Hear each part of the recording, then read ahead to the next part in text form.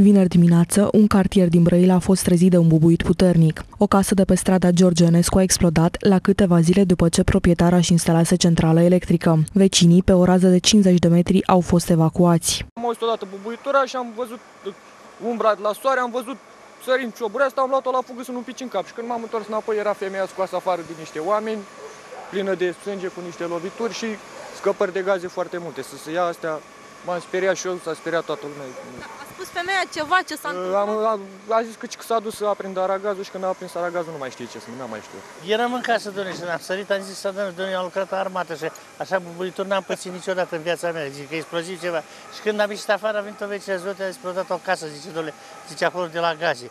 Mă gândeam, nu poate să fie așa de puternic de la, de la un trotil, la un exploziv, ceva, zic, hai, poligonul e aproape, dar zic, nu se poate auzi așa de mare. Ieșea fum de acolo, pe urmă a bufnit flacre, am de ardea, a venit o vecin și m-a dus în curte, mi-a dat o, o pastilă și am luat, am luat apă și urmă, nu, nu, nu mai știu, nu mai știu ce. Și între timp ăsta și că a o salvare și a dus-o. Zice că era lovită la cap, știi, curgea sânge. Pierdere de gaze s-a făcut explozie. Deci e pericol Ne spar geamul, s-ar putea pericol că pierd gaze până când vine cei de la gaz ca să-l închidă.